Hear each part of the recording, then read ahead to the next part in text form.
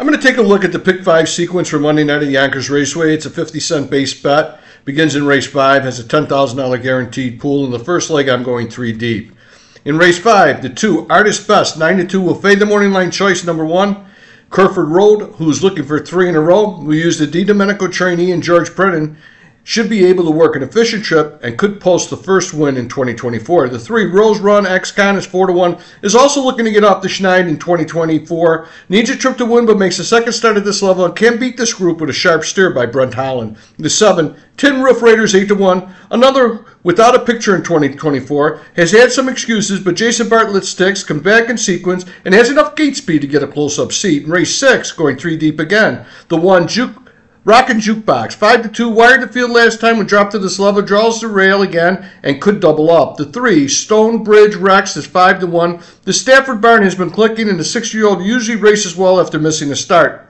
The pace could be honest and could roll by down the lane. The 4. Euphoria N. 5 to 1. Not sure the 5 to 1 morning line holds up has good gate speed and could get the jump in this crew. Raced well in the first start at Yonkers this year. Could be on top or in the two hole tonight and looks like a main player again. In race seven, I'm singling Raining Dale, 9 to 5 choice. The one horse beat the $40,000 claimers two back, destroyed the $50,000 claimers last week, draws the rail, and all systems should be go to make it three straight. In race eight, the two, my ultimate star, A is 5 to 2, needs the right setup because lacks gate speed but can close in a hurry, using as there are two or three in this field that can leave, and the pace should be quick. The 3, tough enough to wear pink, is 3 to 1 in the morning line, beat this kind last week by wiring the field, can also win coming off cover, and not sure landing on top and going to the half in 57 seconds will work again.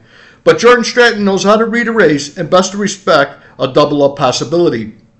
In race 9, going to close it out using three horses. The one, Backstreet Shadow, 2 to 1, started inside last week, caught the field and rolled by with one strong move. Matt Kakaley could follow a similar plan here. The two is covered bridge, 7 to 2 in the program. Not sure if a win helps this veteran at this point get into the Borgata finals, but either way, he will try to win. Desperate Man has been a monster. So coming second to him is not an embarrassment and may fare better tonight. The five, coaches Corners, 3 to 1 in the program, has been a second place finisher in all four Borgata races. Probably comes off its top effort last week, and it's best to not overlook. The 50 cent ticket reads 237 with 134 with 1 with 23 with 125 for $27 and good luck.